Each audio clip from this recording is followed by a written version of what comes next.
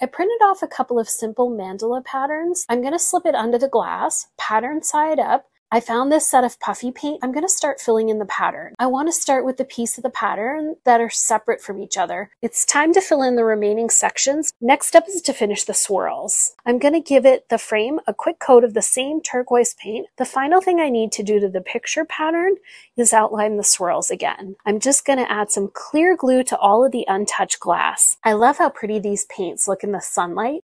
So I'm going to start with about a third of a cup of baking soda, two teaspoons of water, and I'm also going to need a teaspoon of glue, a little bit of paint to start. I want this to be nice and thick and chunky. I'm going to start with a, just a little bit of a burgundy colored paint. I am going to reuse an old canvas and I'm just going to cover this up to make really chunky petals, working towards that center. So I'm just going to make some small petals, dab this all over the middle of my flower here. This beautiful piece of art was so fun to make with homemade 3D paint. Taking this canvas and starting off with just some white paint. Acrylic, and just put this on here. Now again, you could use whatever acrylic you happen to have handy. Very lightly paint all over my surface. Moving the paint around in a very random manner. You don't need to worry, you could use whatever colors you like. Now I'm taking some just basic acrylic paint, a polymer. It's a low viscosity polymer, which I'm adding to my paint to thin it. Some white. White is my first color of choice. A little blob of green on top of there. Again, I'll pop that on top there. Again, you can see I'm just literally just blobbing these down. Take my balloon and I'm going to smoosh it down as hard as I can and I'm going to lift it up like this. So look at that. We've got these gorgeous colors on and just see what happens with those. Do something similar. Look at that. Isn't that beautiful? I'm going to smoosh it all the way down. I'm actually going to do a little second one just there. Smoosh. It doesn't matter if it switches around a little bit. I've really enjoyed making this for you today.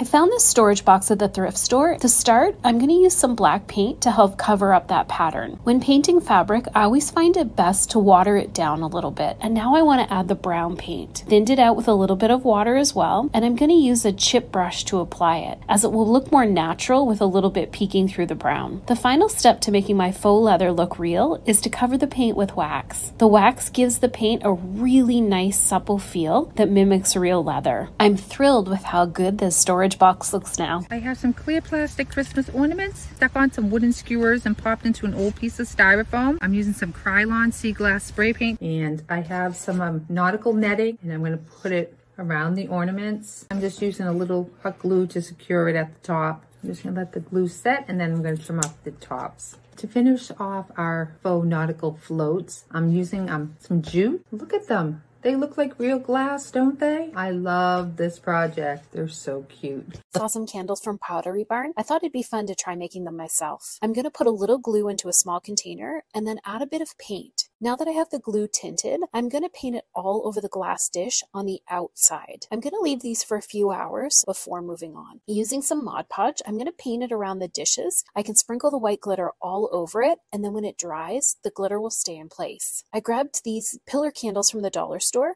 and I'm going to melt them down. I'm just going to use a couple of skewers to hold the wicks in place. I want to add some essential oil to give my candles a beautiful scent. It's time to fill the glass dishes. The final thing to do is to remove the skewers skewers and then trim the wicks. How pretty are these Pottery Barn inspired candles? They even smell as good as they look. To get the table ready, I'm going to start by giving it a quick clean. Next, I want to give it a light sanding. I want to wipe it again. I like to start with the pedestal first and then do the top. I'm going to add and combine some water with some white paint. To apply the wash, I'm going to use this chip brush because the bristles are natural and uneven. To soften up those lines a little bit, I can wipe them with just a damp paper towel.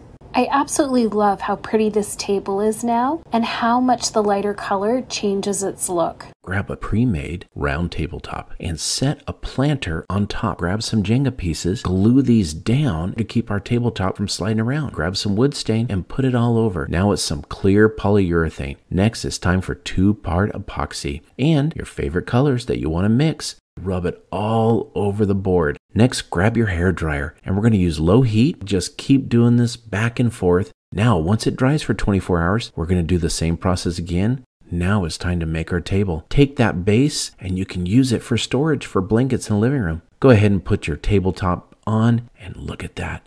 I hope you love this project. It's so easy to do. Drawn a line straight down the middle of the drawers and I'm going to use a red and a blue paint. When the first colour has dried, I then take the other colour and paint on top of it. Then take your spray bottle and spritz over the wet paint and then set a timer for three minutes. When the time is up, we have to start removing the water now and I use a toilet roll. Now I'm moving on to the top of the dresser and I've split the top in half. Now all my drawers are done and dry and I'm taking a stencil and some modelling paste and applying it to the stencil. I finished off the dresser by doing the stencil again on the top and here it is. I hope you enjoyed this and you're inspired to have a go at this crazy technique.